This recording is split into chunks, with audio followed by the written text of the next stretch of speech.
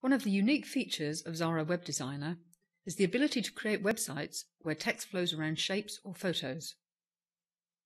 Web Designer can repel text around any object or shape. You don't have to change the text or the text frame in any way. I'll drag and drop this PNG image that has a transparency. This is not repelling. You can see if I drag it around the page, the text goes under it.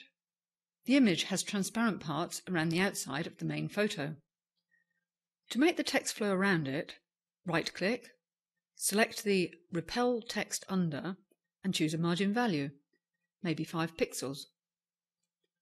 Now as I drag this over my text, it repels around the opaque parts of the graphic or image. This works, as you can see here, on transparent PNG images, as well as photos and graphic objects of any shape. But note, this only works if the repelling object is on top. I'll show you. If I put this behind the text, select Arrange, move backwards, so the photo is now behind the text. Even though this is set to repel, the text now flows on top of the image. Selecting Arrange, bring to front, and this will restore the text repelling. A second point to remember is that this repels flowing text in columns and text boxes. It doesn't repel simple single line text, such as this heading, for example. Now I'll add a shadow.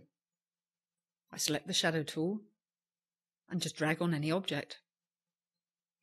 You can see this increases the size of the object and thus the repelling area.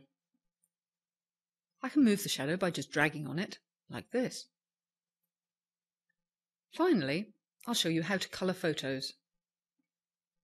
With the object selected, note the status line tells you what is selected. You can click on any colour. In this case, Theme 1. And there are two new menu options for photos.